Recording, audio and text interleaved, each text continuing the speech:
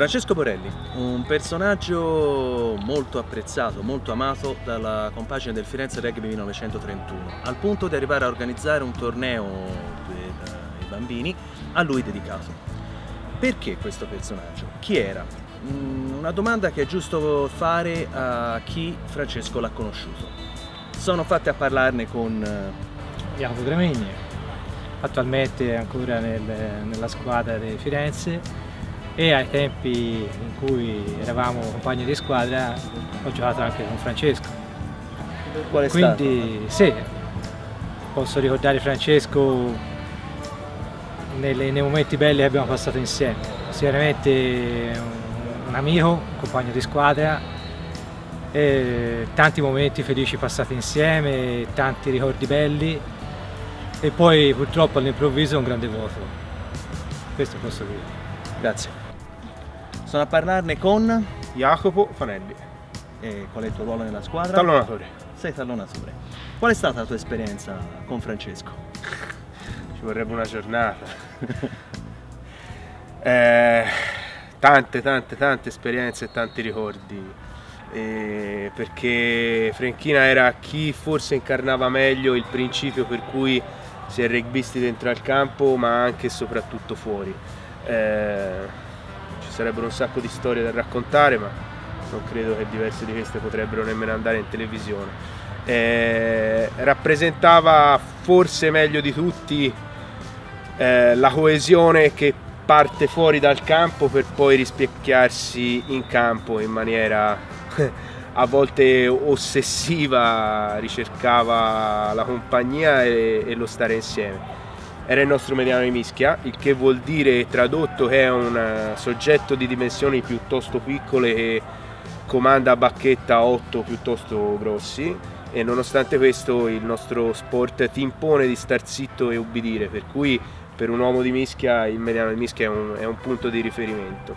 E lui sicuramente lo è, lo è stato per noi, era una persona sarebbe troppo lungo da spiegare ma era sicuramente una persona speciale se no oggi non saremmo qui a parlare. Ti ringrazio. A te. Sono a parlarne con Mattia Chiostrini, pilone sinistro. Oh, ok, qual è stata la tua esperienza con Francesco? Francesco è stato uno dei primi che mi ha portato dalla giovanile a conoscere quelli della prima squadra. Loro erano in under 21 quando io giocavo in under 16 e poi eh, ci hanno coinvolto in tutto questo gruppo di prima amici piuttosto che che squadra e poi squadra in campo. Frankie era anche uno che a 85 kg ha ribaltato tre volte di fila la terza centro della Lazio e se n'è andato con la coda fra le gambe, quindi era un esempio in campo e fuori. Ecco, per me era questo. Grazie. Sono a parlarne con Nicola Falleri, sono mediano di apertura estremo della Rugby Firenze 1921. E, um, Frankie Frank si può dire veramente tante storie, però forse una, meglio di tutte, spiega quello che è stato per me e che era per il nostro ambiente. Eh, io esordito in prima squadra a 18 anni e pochi mesi, dopo la prima partita lui mi ha, il martedì successivo, la domenica, mi ha chiamato, mi ha invitato a casa sua, mi ha fatto una bistecca, siamo stati a chiacchierare all'incirca un paio d'ore con una bottiglia di vino, poi siamo usciti e quello è stato il suo modo di dirmi benvenuto in prima squadra. Quindi questo è, è quello che è stato per me Frank. Grazie. Sono a parlarne con... Con Matteo Nava, ala estremo del Firenze 1931. Io rispetto ai ragazzi di prima non ho giocato e non, purtroppo non sono uscito insieme a Francesco però mi ha allenato e io mi ricordo ehm, la passione e l'amore con cui cercava di trasmetterci tutti i valori che, che i ragazzi eh, eh, hanno detto prima. E soprattutto mi ricordo una cosa, che quando giocavamo le partite noi più piccoli non mancava mai, anche se non venivano tutti i ragazzi della prima squadra, lui veniva prima da solo, si metteva in tribuna e aveva sempre una parola di conforto, aveva sempre voglia di, di darci una mano anche fuori dal campo, nonostante non, giocassimo, non giocassimo insieme. e mh, appunto mh, qui dentro siamo una famiglia, quindi chi è più grande dà sempre una mano a chi è più piccolo per crescere e diventare tecnista. Questo è quello che mi ricordo di Francia. Grazie. Prego. Sono a parlarne con... Andrea Cerchi.